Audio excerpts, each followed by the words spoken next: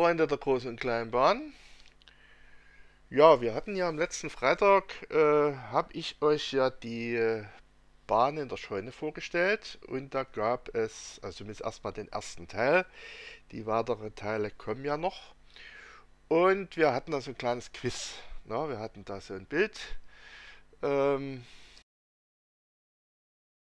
also dieses Bild hatten wir und ich habe gefragt, ob jemand hier auf dem Bild den Fehler erkennt.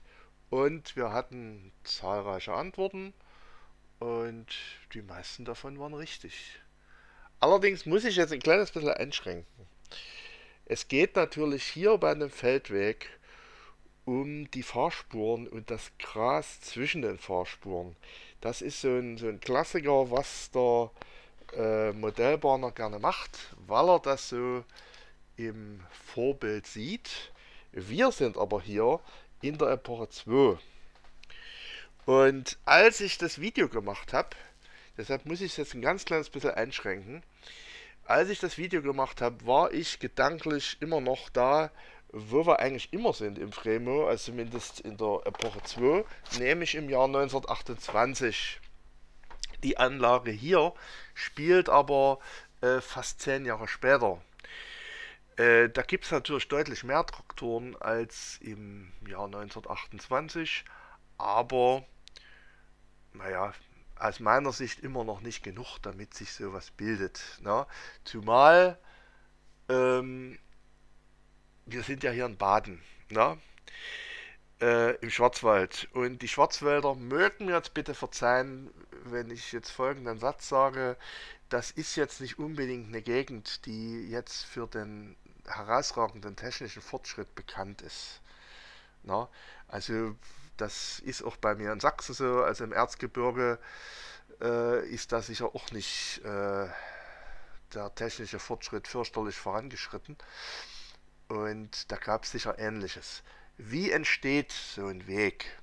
Der Weg entsteht, wenn, ein, wenn viele motorisierte Fahrzeuge da lang fahren und diese Spuren bilden. Und in der Mitte passiert quasi nichts. deshalb wächst da genauso wie links und rechts das Gras. Ein naja, wer mit dem Fahrrad oder mit dem Motorrad fährt, der wird sich dann wahrscheinlich für eine von den beiden Spuren entscheiden, je nachdem die, die etwas weniger holprig ist. Es sei denn, es kommt was entgegen, dann fährt man natürlich nach rechts. Ähm, zu dieser Zeit, also wie gesagt, das ist so eine Sache, die der Modellbahner so im Kopf hat und eben baut. Zu dieser Zeit waren aber die meisten Fahrzeuge mit Pferd unterwegs. Das heißt, da sind Pferdewagen lang gefahren, die äh, zum Beispiel die Ernte eingebracht haben oder die von Ort zu Ort gefahren sind, warum auch immer.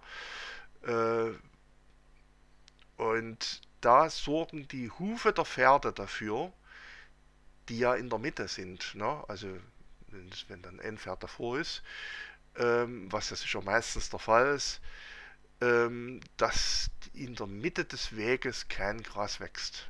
Und das ist quasi der Fehler. Ne? Also ich möchte die, die es die es gewusst haben, äh, möchte ich hiermit beglückwünschen. Es waren wirklich viele Antworten. Hat mich eigentlich erstaunt, ne, dass das so, äh, ja, weil ich, ähm, ich habe den Fehler auch schon gemacht. Ich habe also auch schon so einen Weg angelegt mit Gras in der Mitte. Aber man lernt halt dazu. Ja, und alle anderen haben eben dazugelernt. Ja, in dem Sinne freuen wir uns auf die nächste Folge. Die wird dann erst äh, mit der Veröffentlichung heute. Na, also da es jetzt nicht so fürchterlich lang als Video ist, äh, machen wir das mal als Mittwochsvideo. Äh, wird dann nicht jetzt am Freitag kommen, da kommt was anderes. Ähm, das lassen wir uns überraschen, was da kommt.